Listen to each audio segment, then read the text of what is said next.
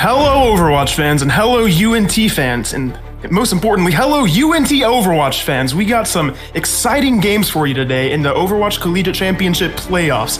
He actually gets the Mei and disrupts the push, the Genius Wall, 200 IQ coming out from Aspect, and the Blizzard is available. He farms that so Oh, he throws it He's in. gonna eke it in before the wall comes out. He's gonna get the freeze on Valentine, and this is Aspect coming up so big on the duplicate. The 1 HP Sacredin is gonna fall to the Baby D.Va, but Alias does not get the remake off. Still not the worst trade, but Becker College is on the point here, and Jaybird is hung out to dry as UNT is trying so desperately to hold the point. The Deadeye, Hawkins is gonna come out with it. The Immortality will keep him up, but denied by the DM from Nape. Blizzard comes out from the Becker DPS, and Hawkins is trying to get damage where he can. He will find the pick on Mei. The flash is so big here, and That he's just Baptiste, there he goes. Here, and Hawkins coming up so big for UNT.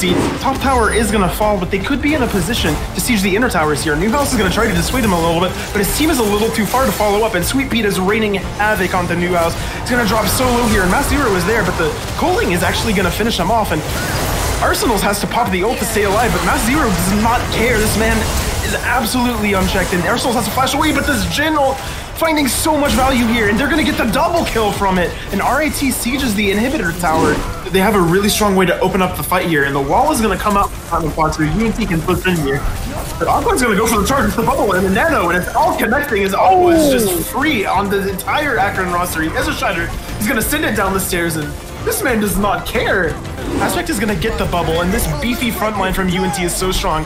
Yushi gonna beat in aggressively, realizing the cooldowns are down, and the shatter coming out from Spark is big. Japers is not gonna connect, and Aspect is gonna fall.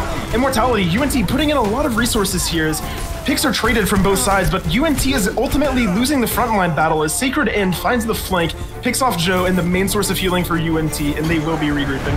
Aqua sizing up the oh! corner, he finds it, the flashbang from it. Hawkins actually setting it up for that shatter, and Aqua, or Aqua, Aqua, honestly, the Aqua duo carrying the fight there.